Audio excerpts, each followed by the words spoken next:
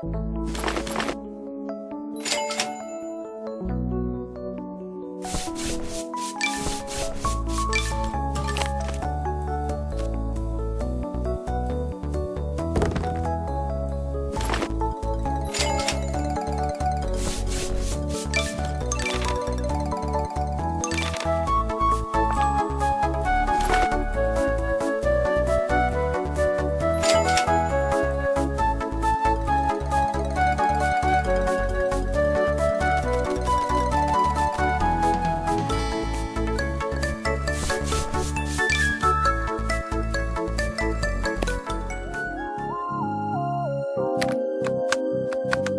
Well, it was some season.